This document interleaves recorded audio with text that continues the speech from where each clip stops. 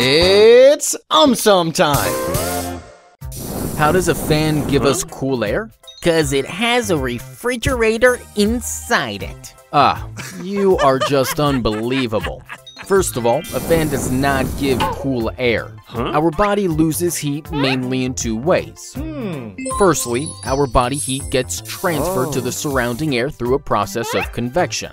Secondly, the sweat produced on our skin absorbs our body heat and evaporates into air, thus allowing us to lose heat. Ah. Now, without a fan, both of these above ways create a stagnant layer of hot humid air around our skin, thus making it difficult to continue the processes of convection and evaporation. However, when we switch on the fan, it blows away the stagnant layer of hot air and replaces it with a relatively drier air, allowing the processes to continue and thus we lose more heat and cool down faster. Ah.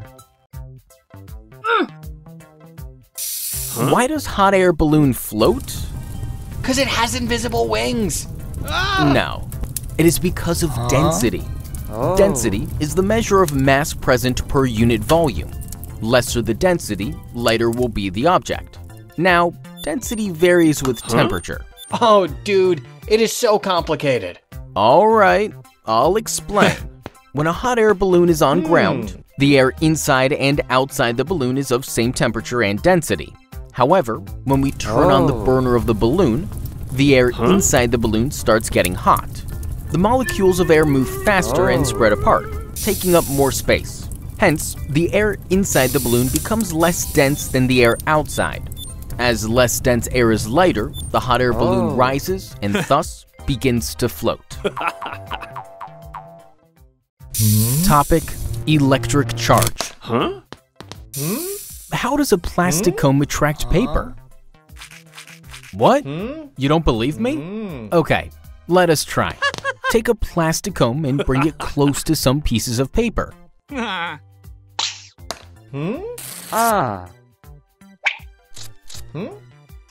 Hey, wait, don't laugh. We need to do something first. Hmm. Rub the comb on your dry hair and then bring the comb Oh. close to the pieces of paper. Hmm. See?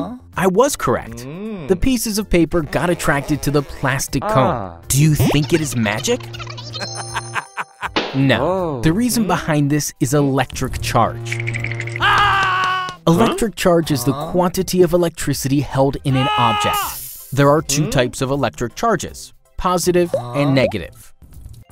However, ah! there are some objects where the positive and negative charges are equal to one another.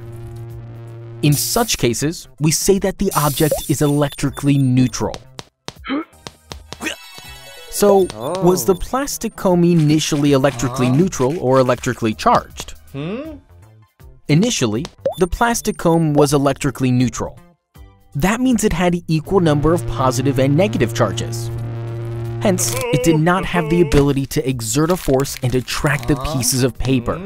So, after rubbing the plastic comb on our dry hair, why was it able to attract the pieces of paper? I will tell you why. When we rubbed the plastic comb on our dry hair, it gained an electric charge. Once it got electrically charged, it got the ability to exert a force on the pieces of paper and attract them. This charge is called Oh. as static electricity. However, do you think, like a plastic comb, a metallic comb would also attract the pieces of paper? Hmm? Hmm? Nope, you are wrong. A metallic Oh. comb will not attract the pieces of paper like the plastic comb. Wondering why hmm? is that so? It is because plastic is not a good conductor of electricity. It does not allow the electric charges to flow through it onto the earth. As a result, the charges build in the plastic comb, making it electrically charged and enabling it to attract the pieces of paper. However, metal is a good conductor of electricity. It does not let the charges build in it. It allows the electric charges to flow through it onto the earth, thus not allowing the metallic comb to get electrically charged. As a result, the metallic comb does not attract the pieces of paper. Oh. Hmm.